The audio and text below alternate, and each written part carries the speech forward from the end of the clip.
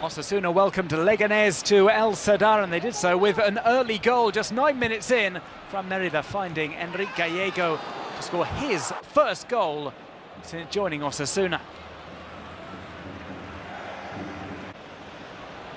Leganés nearly got on terms before the end of the first half. Bryan Gil was closing in on goal. Sergio Herrera diving at his feet to put himself into the line of fire. Leganés were behind at half-time. After the break, they brought on Javier Avilés, and he scored his first goal in La Liga Santander, a screamer into the top left corner. Leganés were back level and could have taken the lead. Herrera had to produce a fine save to deny Kevin Rodrigues. And at the other end, Marc Cardona would be denied by Cuellar.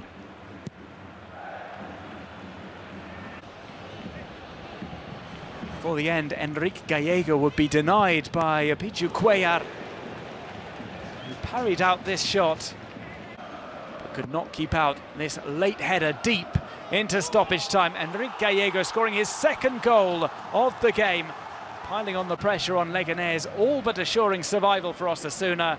Final score, Osasuna 2, Leganés 1.